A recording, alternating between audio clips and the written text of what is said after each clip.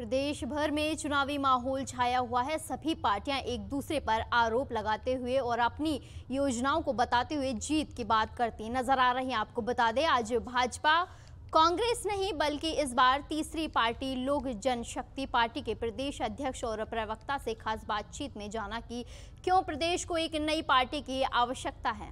प्रदेश भर में चुनावी माहौल देखने को मिल रहा है। कांग्रेस या भाजपा या अन्य कोई भी पार्टी अपने प्रचार प्रसार करती हुई आपको नज़र आ रही है। आपको बता दें कि कांग्रेस और भाजपा के अलावा अब प्रदेश में एक नई पार्टी का निर्माण होने जा रहा है, एक नई पार्टी धावा बोलने वाली है।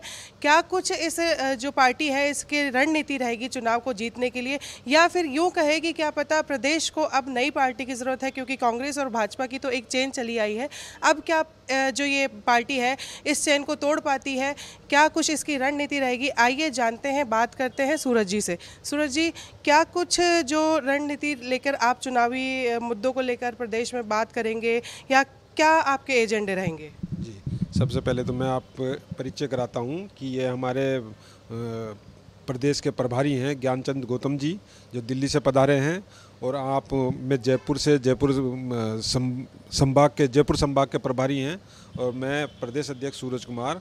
मैं आपको बताता हूँ कि जिस तरह से ये दोनों पार्टियाँ पाँच पाँच साल का खेल खेलती हैं तो उस तरह से हमने पहले भी रामविलास पासवान जी ने यहाँ पे चुनाव लड़ाए हैं और हमारा एमएलए का कैंडिडेट भी यहाँ पे जीता हुआ है राजस्थान के अंदर कि जो रणवीर सिंह गुढ़ा यहाँ से एमएलए रहे हुए हैं और नागालैंड से भी हमारे अभी फ़िलहाल दो एमएलए हैं और रही बात यहाँ की राजस्थान की तो राजस्थान में आपको बताऊँ मैं, पिछले जो कार्यकाल था कांग्रेस का, उसमें आपने भी देखा होगा कि जो जिस तरह से बेरोज़गारी यहाँ चरम सीमा पर हो गई और आए दिन आए दिन आपने देखा कि अखबार भरे रहते थे, पेपर लीक वगैरह से जो कितना ही।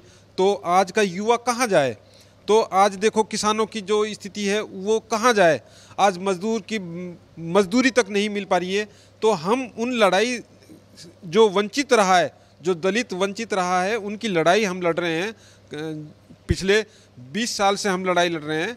तो उन उन, उनके लिए हम लड़ाई लड़ रहे हैं। हमारा विकास का केवल यही रहेगा कि दलित, मजदूर, गरीब, किसान, इनकी लड़ाई जो बेरोजगार, जो युवा है, उनकी लड़ाई लड़ने का काम करेंगे। सूरज जी, देखिए, आपका कहना है कि हम लोग किसान के लिए लड़ेंगे, गरीबों के लिए लड़ेंगे। आपकी पार्टी लोग जनशक्ति पार्टी जो है क्या, क्योंकि ये जो मुद्दे हैं, ये हर सरकार उठाती है, चाहे वो गरीब हो, चाहे धर्म हो, चाहे किसान हो, लेकिन क्या कुछ नए मुद्दे लेके इस बार आप काम करेंगे? क्योंकि देखा जाता है कि प्रदेश में जब चुनावी माहौल आता है तो सब लोग सक्रिय होते हैं, हम ये कर देंगे, वो कर देंगे, लेकिन पाँच साल में फिर कोई कार्यकाल में कुछ भी नहीं करता हुआ दिखता, ना वो दोबारा लोगों के घर जाता हुआ दिखता या उनकी मांगों को पूछता हुआ दिखता, क्या कुछ कहेंगे? लेकिन देखिए, हम पहले भी, मैं आपको पहले भी बता चुका हूँ कि हम पहले भी यहाँ पे भागीदारी रही है हम एमएलए रहे हुए हैं और हमने, हमको काफ़ी प्रयास किया गया। उस टाइम बीजेपी की सरकार थी तो काफ़ी प्रयास किया गया हमारे एमएलए को लेने के लिए। यहाँ तक कि उनको मंत्री बनाने का भी ऑफ़र दिया गया, लेकिन हम नहीं गए। लेकिन हम हम जब तक सत्ता में, हम अगर आते हैं तो हम जो वंचित, वर्ग है, उसकी लड़ाई लड़ने का काम करेंगे और चाहे हम सत्ता में रहें या नहीं रहें, लेकिन उनकी लड़ाई हमारी जारी रहेगी। आपसे जानना चाहेंगे कि जो मुद्दे आपने बताए, ठीक है, सब लोग करते हैं। लेकिन क्या जो आपकी पार्टी है, दिव्यांग के लिए या बात कहें थर्ड जेंडर के लिए, क्योंकि आज भी अगर हम थर्ड जेंडर को देखते हैं तो एक घृणा से देखते हैं। उनका खुद का ये कहना है कि जब हमें हमारे घर वालों ने एक्सेप्ट नहीं करा तो हमें समाज क्या एक्सेप्ट करेगा? तो चाहे कांग्रेस हो या बीजेपी हो या आपकी पार्टी हो या कोई दूसरी पार्टी हो तो वो क्या करना चाहेगी इन लोगों के लिए? क्या कुछ आ, मतलब केंद्र सरकार से आ, बात करेगी इसके? क्योंकि कहीं ना कहीं अभी भी इन लोगों के लिए इन लोगों को आ, अलग देखा जाता है। जी अलग नहीं देखा जाता। देखो देखिए झालावाड़ से हमारे एक जो कोटा संभाग के प्रभारी हैं फारूक भाई हम वो बिल्कुल विकलांग हैं और उनको हम झालावाड़ से टिकट देने का काम कर रहे हैं, उनको भी चुनाव लड़ाने का काम हम ही कर रहे हैं। और रही तीसरे जेंडर की बात, हम हम उनके साथ हैं। आज क्या है कि उनको कहीं पे भी किसी ने भी कोई टिकट नहीं देता, लेकिन आज देखो महाराष्ट्र में वो निर्दलीय भी जीते हुए हैं। तो हम उस जो थर्ड जेंडर है, वो भी समाज का एक हिस्सा है और हम चाहते हैं कि वो भी आगे आएँ और सत्ता में भागीदारी पाएँ। बात करना चाहेंगे लोक जन पार्टी के पवन शर्मा जी प्रभारी से। सर, क्या कुछ उम्मीदवारों के नाम आप बताना चाहेंगे जिनको आप लेकर आ रहे हैं, जिनके चेहरों पे आप इलेक्शन लड़ने की तैयारी कर रहे हैं? मैडम, मैं आपको बता दूँ कि अभी आपने कुछ देर पहले बोल रहे थे कि किस मुद्दे पे चुनाव लड़ेंगे। देखिए, जनता ने इस बार मूड बना लिया है। जनता ने जनता ने यही कहा कि कि इस बार जो है ना, पिछली सरकार जो गई है, बहुत भ्रष्ट मत सरकार थी, है ना? और हम आपके मार्फत से जन, जनता को भी ये कहना चाहते हैं कि आपने सबको देखा बार बार हमको देखो एक बार। आप हमें एक बार देखो, एक बार आप हमें देखो, जो ये भ्रष्ट सरकार जो चल रही है, अभी जो चल रही थी, ये दोनों पार्टियाँ जो बीजेपी और कांग्रेस, ये दोनों एक ही पार्टी हैं। इस प्रदेश के अंदर ये दोनों एक ही पार्टी मैं केंद्र की बात नहीं कर रहा हूँ कि आप लोग इशू बना दो कि ये केंद्र में मोदी जी के लिए मोदी जी से मैं संतुष्ट हूँ, बढ़िया काम कर रहे हो, देश के लिए, पर प्रदेश की जो सरकारें हैं, इनकी ये दोनों एक ही पार्टी हैं। कभी आपने देखा कि कांग्रेस आई तो बीजेपी के ऊपर मुकदमा कर दिया, या बीजेपी आई तो कांग्रेस के ऊपर? कभी आपने सुना? ये कभी नहीं करते हैं। ये लोक जनशक्ति पार्टी एक ऐसी पार्टी है यहाँ पे जो भ्रष्ट लोगों को सबक सिखाने का काम करेगी। और मैं आपको बता दूँ कैंडिडेट की बात रही तो जैसा कि अध्यक्ष जी ने बताया आपको कि 40 सीटों पे तो फाइनल मोहर लग चुका है। और आगे की रणनीति और तय होगी। अभी दो चार दिन में फाइनल हो जाएगा कि कहाँ कहाँ और कितने भी। हमारा जो निगाह है, देखिए हम सिविल लाइन विधानसभा से आते हैं, मैं आपको बता दूँ।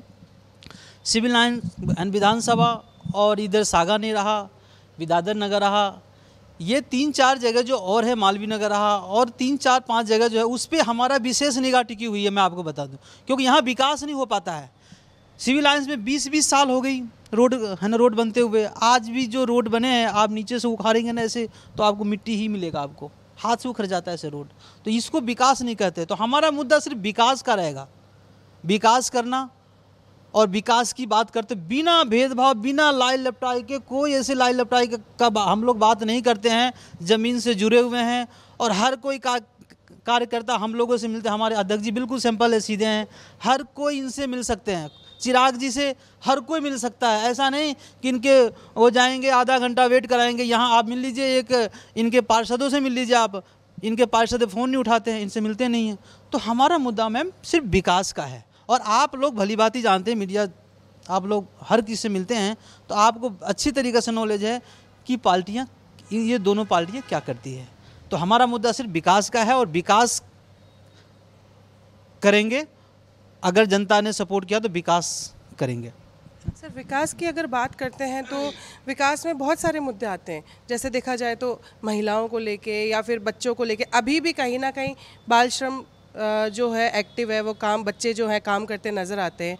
उसके लिए क्या करेंगे? या फिर हम कहें कि जो बच्चे फुटपाथ पर रहते हैं, क्योंकि सरकार ये देखती है, हमने ये स्कूल बना दिया या ये कर दिया, वो कर दिया, लेकिन फुटपाथ पे जो जनता रह रही है, जो लोग रह रहे हैं, उनके लिए क्या कुछ करना चाहेंगे? क्योंकि स्कूल और हॉस्पिटल या कोई भी जो आप योजनाएँ लाएँगे, वहाँ तक वो बच्चे पहुँच ही नहीं पाते या उनके माँ बाप नहीं पहुँच पाते। वो आज भी बीमारी में रहते हैं, वो मर जाते हैं या रोते हैं बिलकते हैं, उनको कोई नहीं देखता और ये सब चुनावी वादे होते हैं कि हम ये करेंगे या वो करेंगे बाद में चुनाव जीतने के बाद कोई भी कहीं नज़र नहीं आता।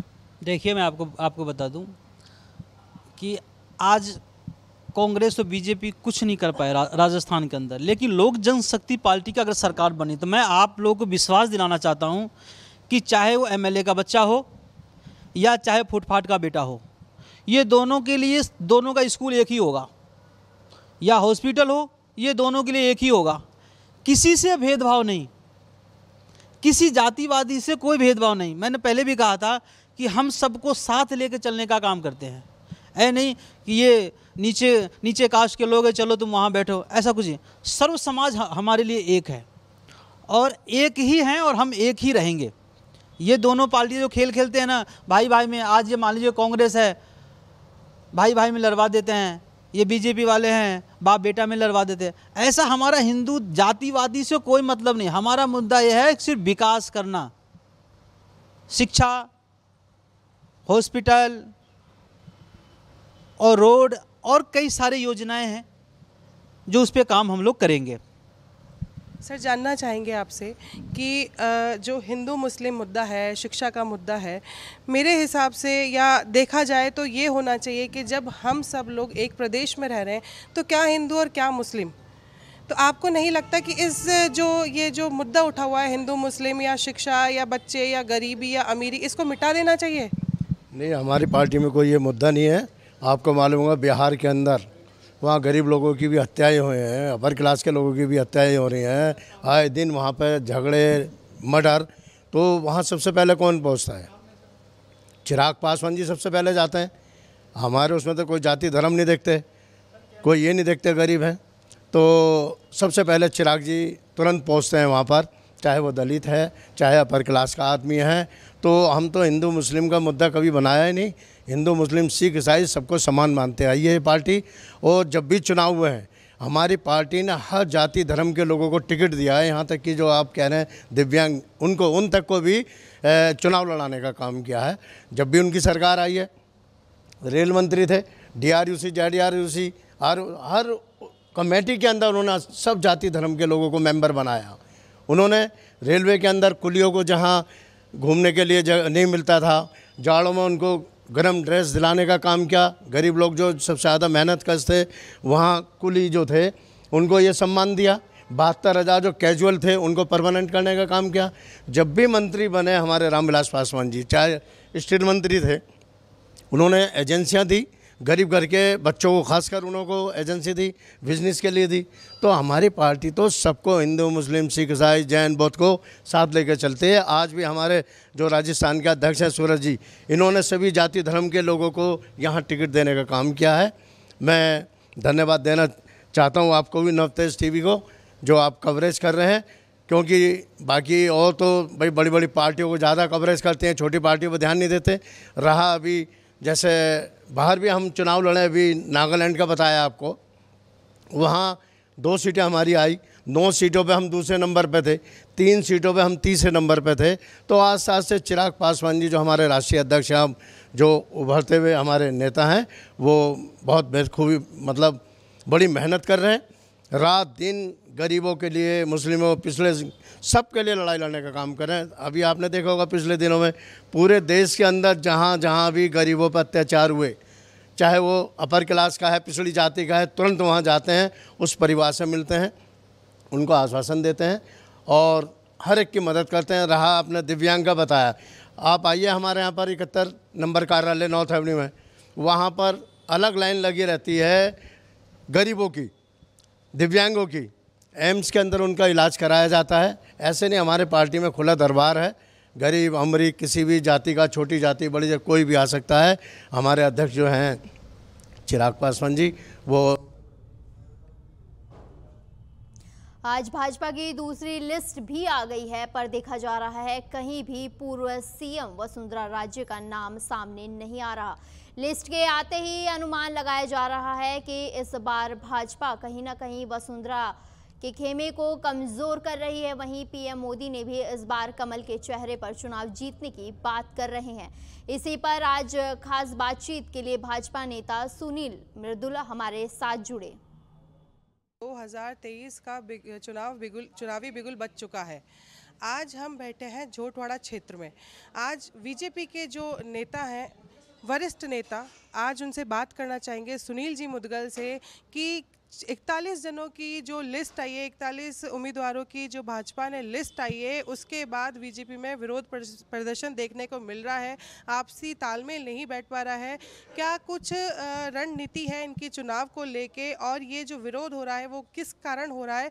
बात करेंगे सुनील मुदगल जी से। सर जो अगर बात करें इकतालीस जनों की, जो उम्मीदवारों की आपकी लिस्ट निकली है, कहीं ना कहीं चाहे भाजपा कार्यालय हो या बात करें झोटवाड़ा की या कहीं की भी, उसमें विरोध प्रदर्शन देखने को मिल रहा है। क्या कुछ कहना चाहेंगे?